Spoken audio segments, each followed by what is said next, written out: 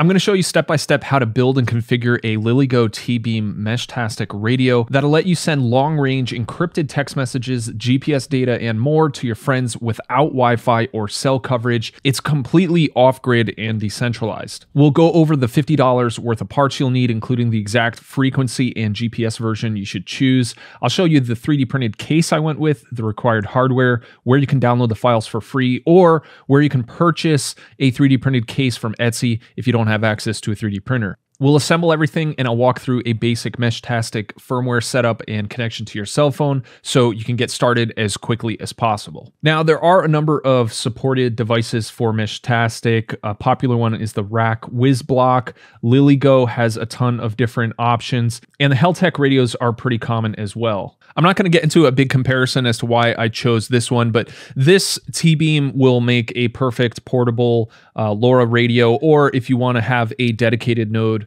um, that has dedicated power supplied to it. It's not going to be the best for a solar uh, node because it is a little power hungry.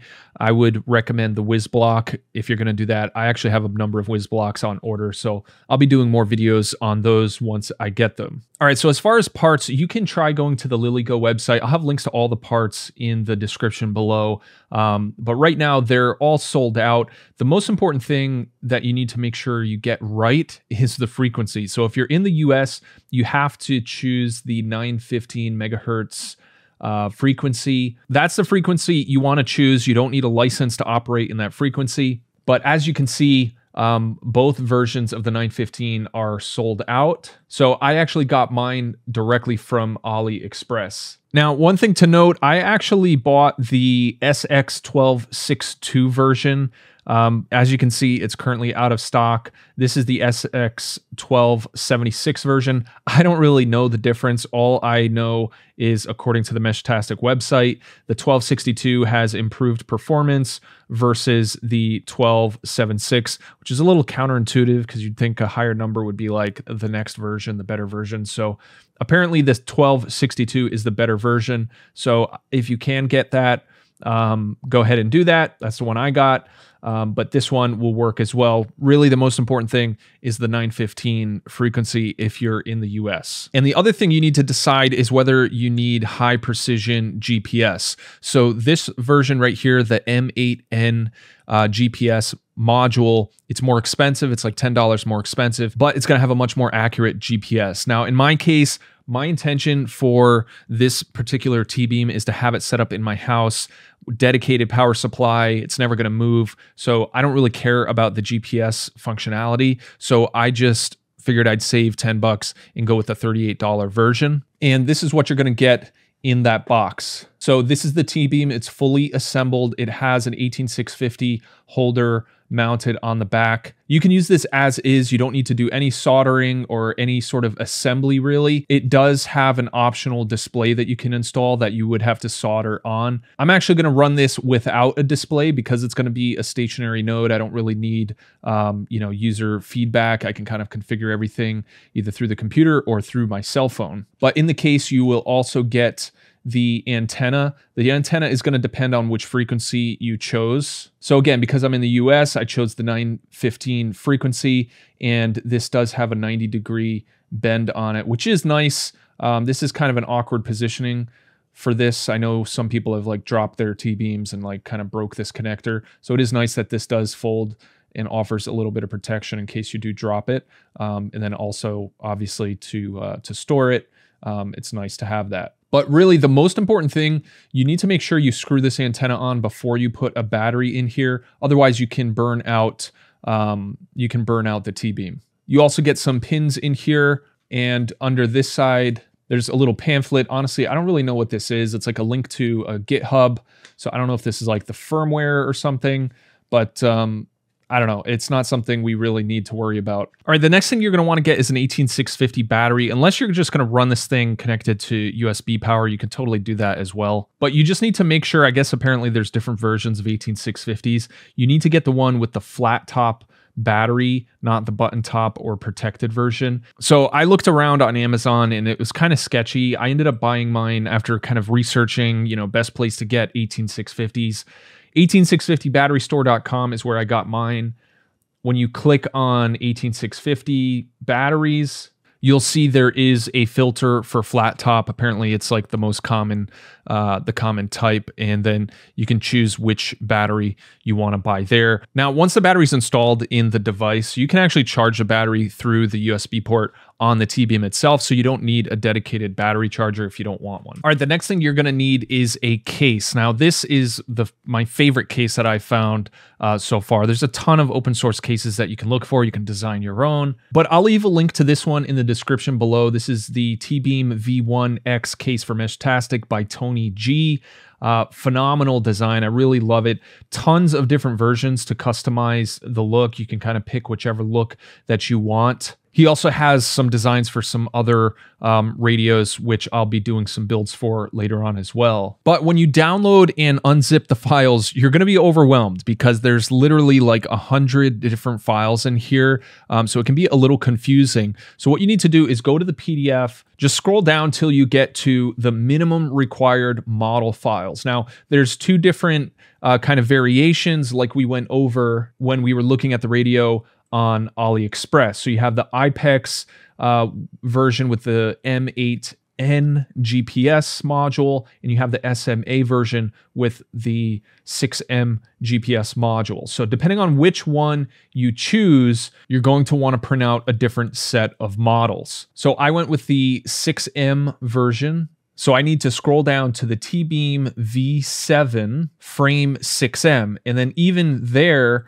I have four different options. So there's a version that includes a TPU file um, that'll kind of snap over and cover the buttons here.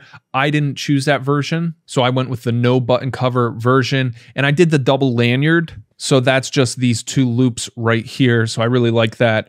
Um, so that's the version I used for the frame. And then for the front, you have a number of different versions for the front. So I'll be looking at the T-Beam V6 front 6M. So you have all of these options all the way down to here for the front. Now you'll notice a lot of all of these right here are 25 millimeter. That's if you have a 25 millimeter GPS antenna. And you'll also notice a bunch of them um, labeled no screen. So if you're not going to be putting a screen on your radio, which I actually wasn't planning on doing it, and I kind of screwed up and put printed out one with the screen. Um, so I'm going to print out another one that doesn't have the screen, or I don't know, I might end up adding one. Um, but it's up to you. If you want to add a screen to the radio, you want to make sure you print out a front that has the opening for it. If you're not going to have a screen, you choose one of the no screen versions. And there's just a ton of aesthetic designs that you can choose from um, out of all of those different options. After you choose your front, you're going to scroll all the way down to the V7 back 18650. You'll print one of those. And lastly, you need to print out three buttons. So you can either do the short buttons or the tall version. The ones I chose to do were the short version.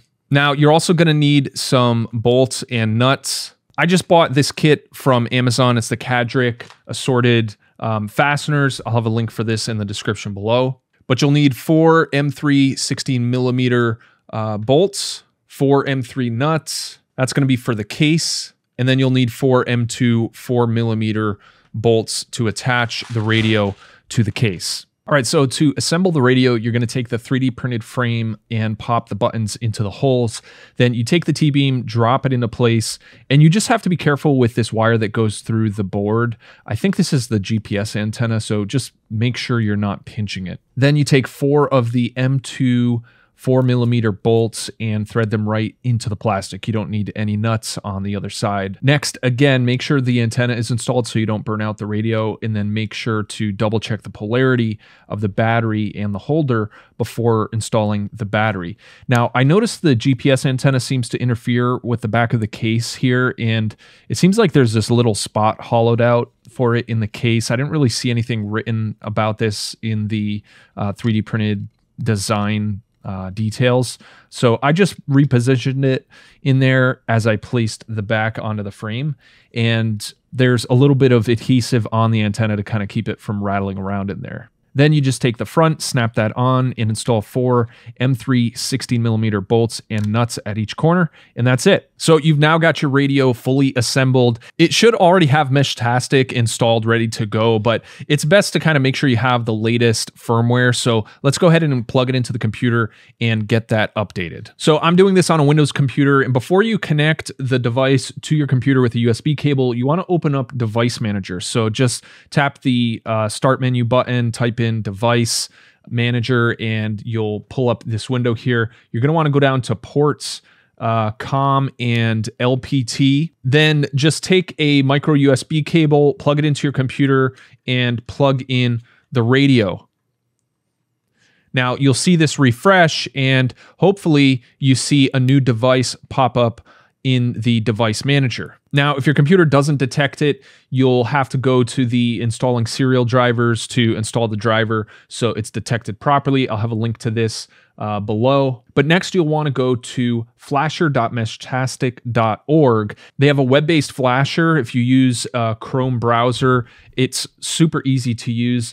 You literally just um, select the device. So we're going to select T Beam we'll select the firmware version. Um, so I'm I would just recommend selecting one of the latest uh, stable versions, and then click Flash. It tells you a summary of that specific firmware version. Go down to the bottom, click Continue. I'm going to do a full erase and install to uh, start from scratch, and we'll click the button at the bottom. And then it's going to ask you to select that device. Um, so whatever device you saw, in the device manager that was added when you plugged in the T-Beam, that's the one you're going to want to pick here. So we could see here USB enhanced serial COM6. That's the one we're going to pick right here and we'll click connect. Now, at the bottom here, you'll kind of see this console.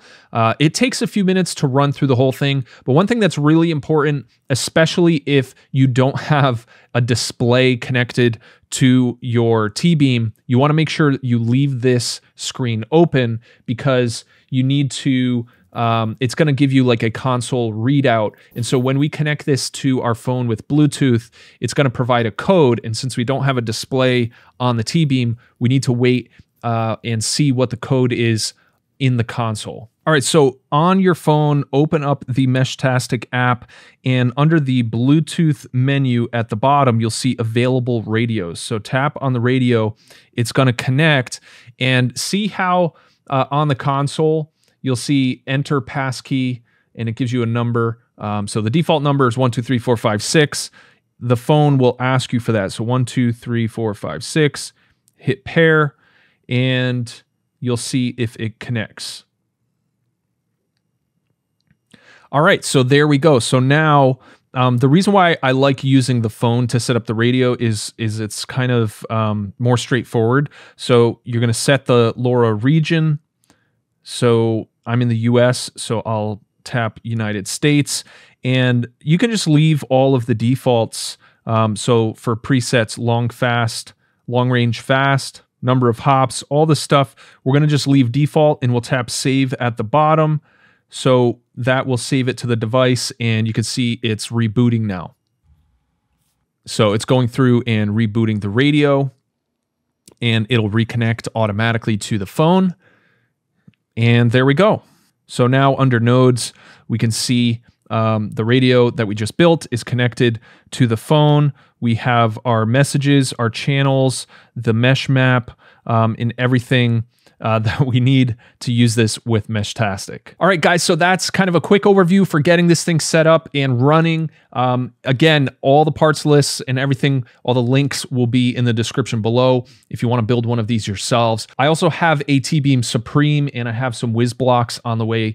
So I'm going to build some solar nodes and uh, kind of experiment with this. I'm really excited about Meshtastic. So uh, if you want to catch some of those videos, make sure you subscribe and uh, I will be releasing those once I get those in. So thanks for watching and I'll see you in the next video.